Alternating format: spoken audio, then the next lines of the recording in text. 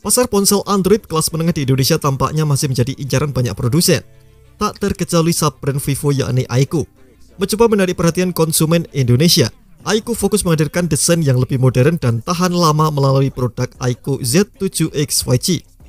Aiku menawarkan bodi yang modern dengan modul kamera yang mewah, di balik bodinya, ponsel ini dilengkapi dengan chipset Qualcomm yang memiliki performa mumpuni untuk main game atau multitasking. Menariknya, Aiku juga menggunakan baterai di atas kapasitas standar di HP ini. Tentu, Anda bisa menggunakan ponsel lebih lama tanpa khawatir waktu mengisi daya yang lama. Dan berikut ini kelebihan dan kekurangan Aiku Z7X 5G yang sudah tim Gadget Mirangkum.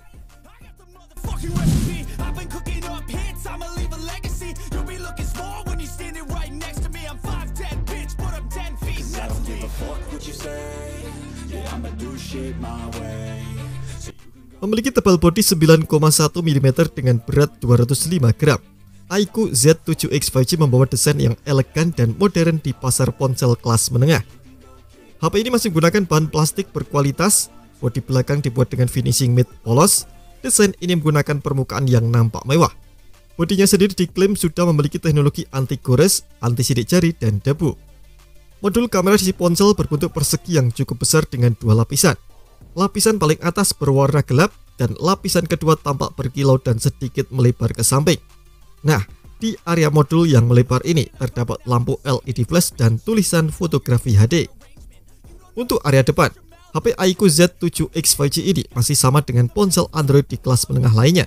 Kamera depan yang dipasang sudah kekinian yakni memakai model punch hole yang terletak di area tengah.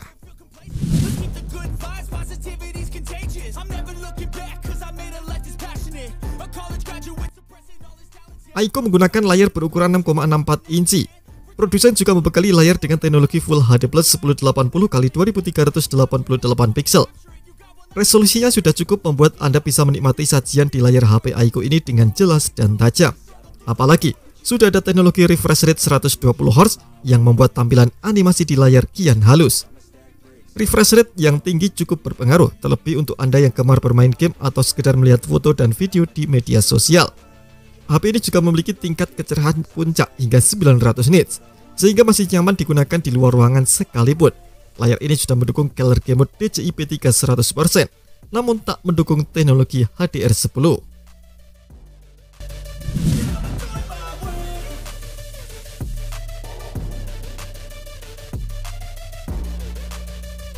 Menyadari kebutuhan smartphone yang akan sering digunakan mengakses media sosial, Aiku Z7X 5G sudah dibekali dengan sistem kamera yang cukup baik di kelasnya. Anda bisa mendapati kamera belakang yang diklaim cukup mumpuni untuk harian, yakni kamera utama 50 megapiksel dengan bukaan sensor f1.9 PDAF dan EIS. Untuk menemani kamera utamanya, Aiku Z7X 5G terpasang kamera deep dengan bukaan f2.4.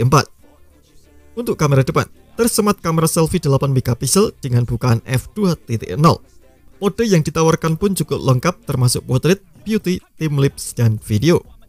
HP Aiko ini sanggup merekam video di resolusi 1080p di 30 fps untuk kamera depan maupun belakangnya.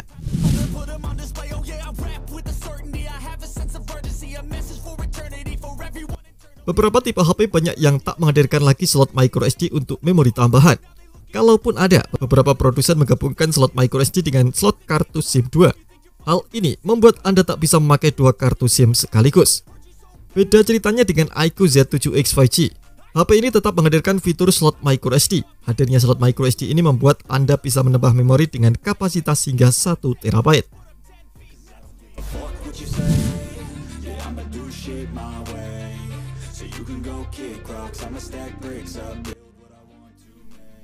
iQOO Z7X 5G dibekali baterai dengan kemampuan yang mumpuni Hal ini disebabkan karena kapasitas baterai yang digunakan cukup besar yakni 6000 mAh. Ponsel ini juga sudah didukung teknologi fast charging 80 watt. Bahkan dalam keterangan resminya, Aiko mengklaim dalam waktu pengisian daya 34 menit baterai terisi 70%. Aiko mengklaim baterai ini dapat digunakan lebih lama karena penggunaan chipset yang irit daya dan adanya fitur power saving. Fitur ini membuat penggunaan baterai menjadi lebih efisien.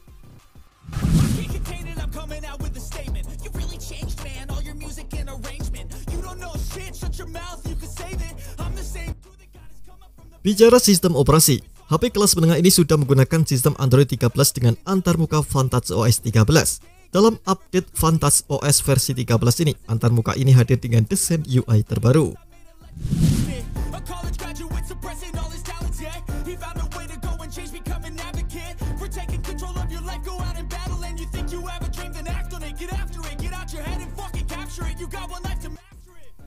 Mencoba mengikuti tren kamera HP saat ini yang lebih mengarah ke fungsional, Aiku hanya menghadirkan dua buah kamera di area belakang, yakni sebuah kamera utama dan sebuah kamera deep.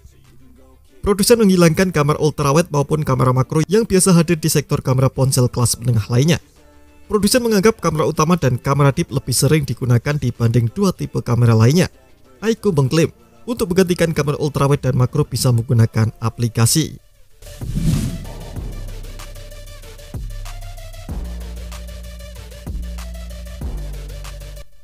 Meskipun Vivo mengklaim HP ini sangat nyaman untuk harian, ternyata Vivo hanya menggunakan chipset Snapdragon 695.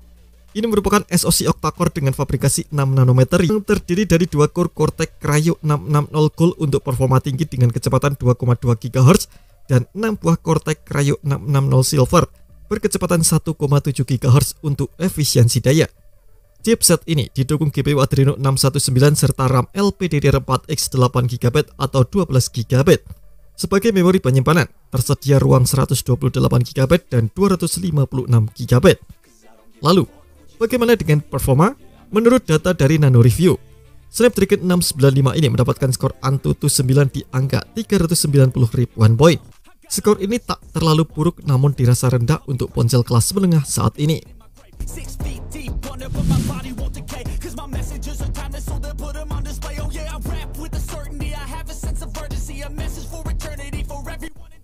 Saat ini banyak pengguna yang gunakan smartphone dalam berbagai aktivitas. Maka sebagian produsen sudah menggunakan fitur sertifikasi anti air maupun anti debu. Sayangnya, untuk ponsel iQOO dari Z7X ini tak dibekali anti air maupun anti debu. Artinya, Anda harus berhati-hati menggunakan HP ini jika berada di luar ruangan. Jangan sampai HP ini terjatuh dan masuk ke kolam atau terkena air hujan sembarangan.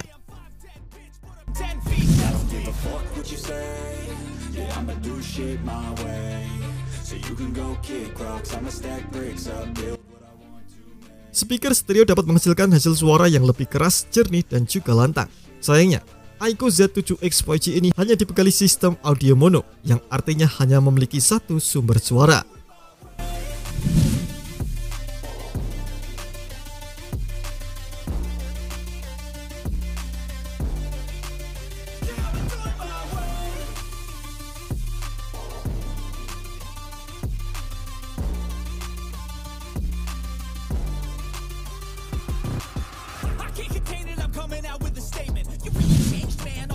Terima kasih telah menonton video ini. Jangan lupa subscribe dan aktifkan loncengnya untuk mendapatkan informasi menarik seputar komputer terbaik dari Gadget Me.